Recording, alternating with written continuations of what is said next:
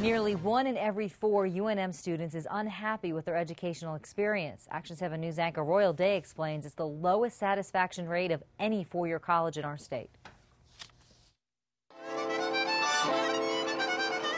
If you were selling something, how important would customer satisfaction be? Thank you, sir. Thank you. Most would want every single person to love their goods or services, assuming the rave review would spread.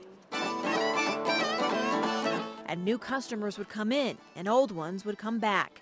But it seems the biggest four year school in the state may need to improve its relations with its toughest, largest customer, the student. UNM has got its uh, ups and downs. Of course, that would be the class sizes, the interaction with the teachers, with the students, and just that type of one on one, you know, interaction. Student surveys taken in 2009 and 2010 found that 77% of UNM undergraduates are satisfied with their college experience. That breaks down to about one in four who are not happy. Here's a look at all the four year schools in New Mexico. At the bottom, UNM. New Mexico Tech, 84.5% satisfaction. Western New Mexico, 86.5%. New Mexico State, 95.2%. Eastern New Mexico, 95.6%.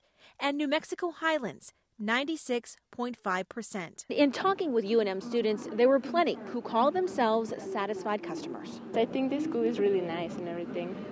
I don't know why people complain. UNM's interim provost says he wants 100% satisfaction. And for now, the school is taking the mixed reviews and working to get everyone there.